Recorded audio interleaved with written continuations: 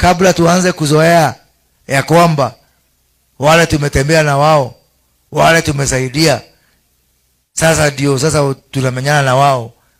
It has been a very difficult time even to accept. Na imekuwa ngumu kwetu lakini zaidi imekuwa ngumu kwa deputy president. Kwa sababu vile mi namjua yeye anachukua mambo vile iko. Ukimwambia namna hii hapana yeye hapana jiuliza hapana pengine huyu amejificha hapana. Ana take things at face value.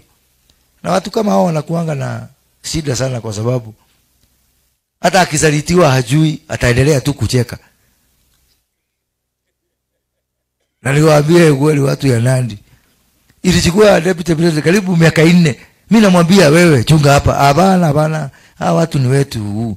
Ni fulani hawezi kutudanganya mena mwaka mmoja uko na hakika? Hapana mimi ni hawa watu ni watu wazuri pengine ni mchezo tu. So kabla tu, tu aone macho ya kwamba unajua mtu ambaye ako na roho safi anafikiria kila mtu ako na roho safi. Hiyo ndio shida. So it took him a, lot, a long time kabla ya kujua kwamba pengine pengine mambo tume tumechengwa. Lakini hiyo yote ya muhimu ni kwamba mwenyezi mungu amekuwa katikati yetu. Mimi nataka kuhakikishia kwamba nataka kuhakikishia kwamba vile tunaamini mwenyezi mungu. Mwaka ujao mwaka ujao rais kwanza kuna mambo mawili. Ama niseme matatu. Mawili najua jawabu yake. Na tatu sijui bado naomba mungu anisaidie kujua ya kwamba mmesikia stori ati kwamba uchaguzi utaahirishwa. Mniangalie vizuri. Mimi kama mbunge wa rais uhuru kenyatta. Na pia mimi nilikuwa mbunge wa jomo. Ile kiti jomo alikuwa nayo mnajua ni mimi nimekalia. Na najua jomo alisema kuna viatu ameacha.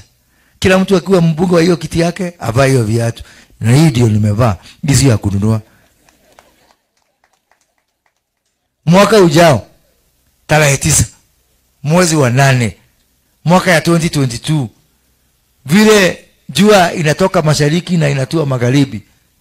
Vile vile.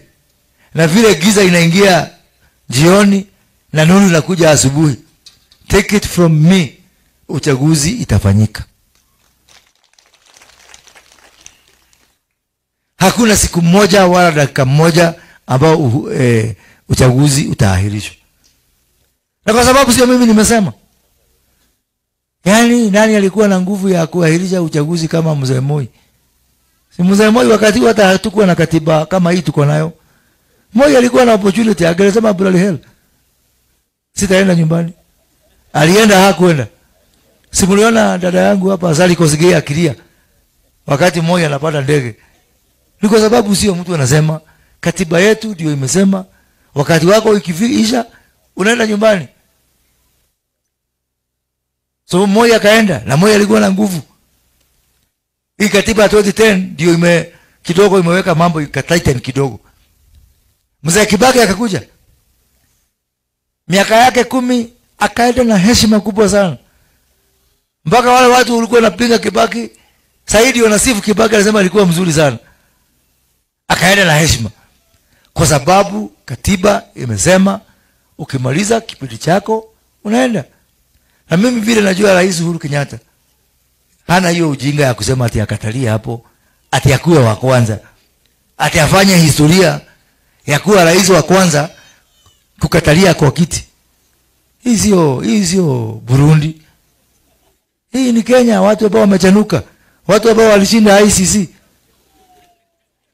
wanajua watu wameshinda icc hawa ni watu wa kuchezea kweli yaani ICC imeshinda dunia mzima imeshinda huko cha Australia imeshinda nani?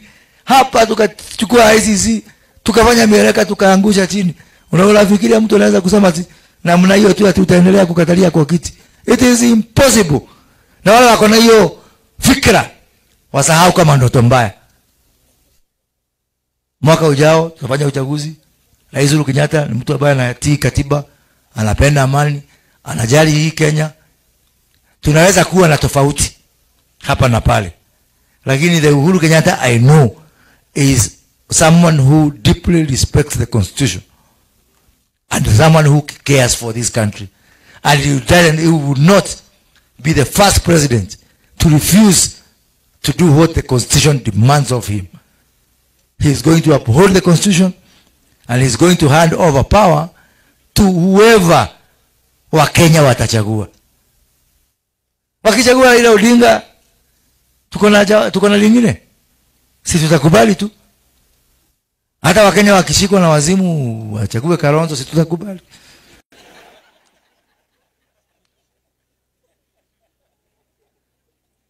Sababu wakenya ndio wakusema na wakenya ndio mwisho.